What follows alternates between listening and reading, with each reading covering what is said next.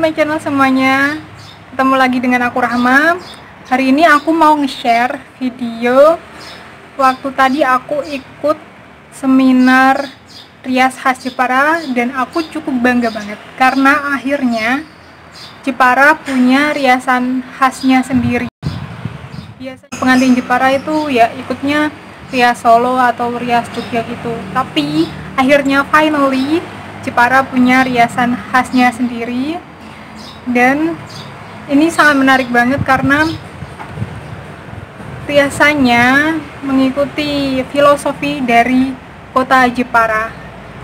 Dan kalau kamu penasaran sama filosofi dari riasan Jeparanya keep to watching. And by the way kalau salvok sama make upku ya kayak gini lah kalau aku make up ke luar kalau ada acara gitu. Tapi biasanya nggak semerah ini sih. Cuma aku lagi mood aja pengen lipstick merah. Karena karena ya ini nggak terlalu banyak make up make upan sih. Jadi aku mau tonjolin di bibirnya aja. Itulah pokoknya. Tapi kalau mau nonton video lengkap dari riasan khas Jepara keep to watching sempurna yang bisa disempurnakan makanya saya menghimbau kepada beliau-beliau senior-senior saya untuk ngasih masukan sehingga nanti tercipta pengantin kepala yang sempurna.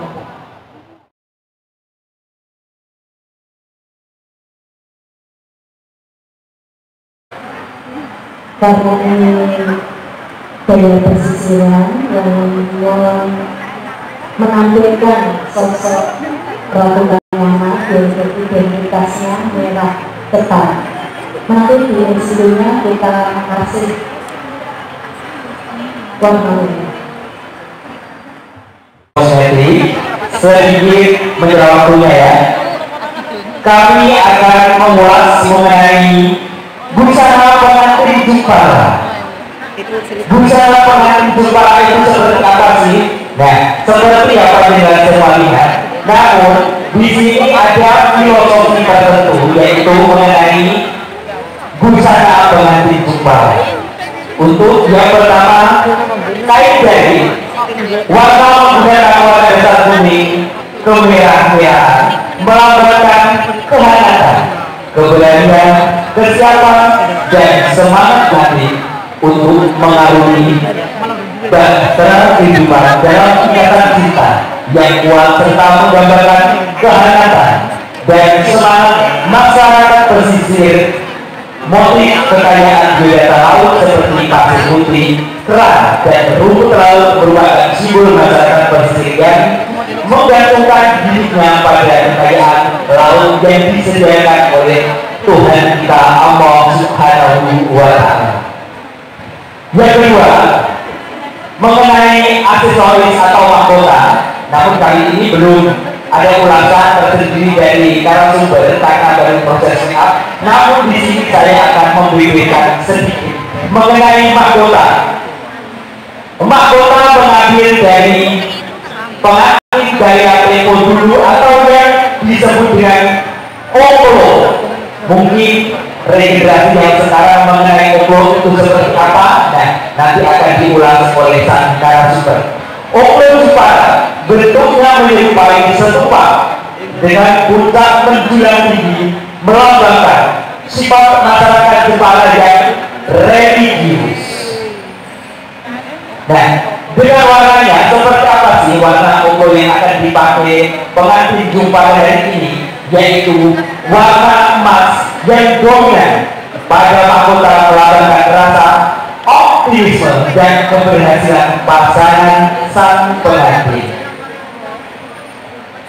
Dengan motif daun ikan sabuk menyambung menuju ke atas adalah simbol rahmat, berkat keselarasan, hidup dan kebahagiaan yang semua ditujukan untuk memuliakan Allah Subhanahu wa Ta'ala. Terima kasih. Bisa dilanjut lagi dari Lektor Setri.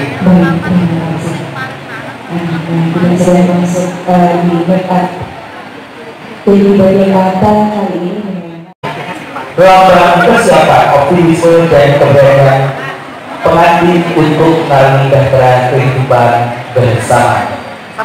Aksesoris yaitu bunga pengantin, bunga ronce melati yang mencintai di sebelah kanan dan kiri berjumlah masing-masing lima melambangkan lima hukum Islam.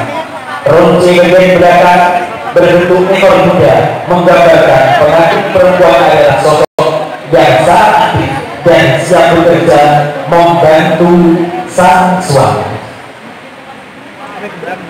Untuk cowoknya, warna merah merupakan simbol persiapan dan keberanian.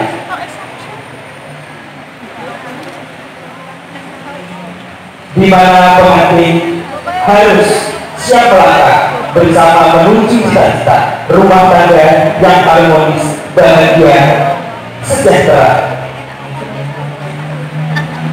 Tepuk tangan yang mana buat Step pertama kita memasangkan. Ini namanya koko ya Bu. Koko itu aksesoris yang digunakan zaman dahulu kala. Koko itu mirip dari Sumatera, dari dari asli Jepara itu seperti ini. Gambarnya seperti ini. Jadi aksesorisnya tiga terusnya. Karena satu satu kali nama berada di sebelah kiri dan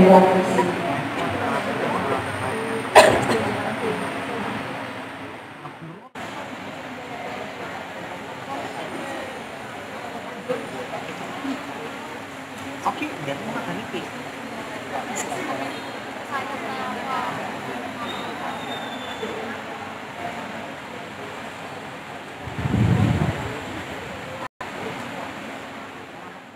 Sepatu. yang tak kalah anggun dengan gaya pengantin dari daerah-daerah yang lain. Semoga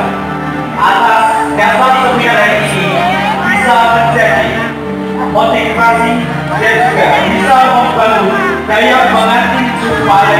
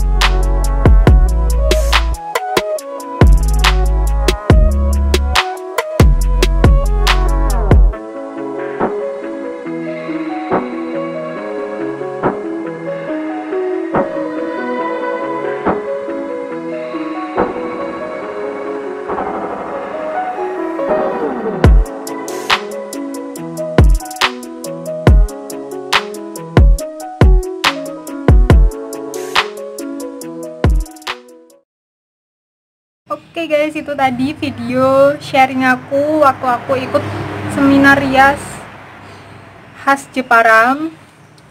Semoga kalian suka karena aku cukup bangga dengan hasil karya rias khas Jepara ini karena bagaimana juga ini akan menjadi aset dari daerah Jepara dan kemungkinan juga akan menjadi aset budaya di Indonesia.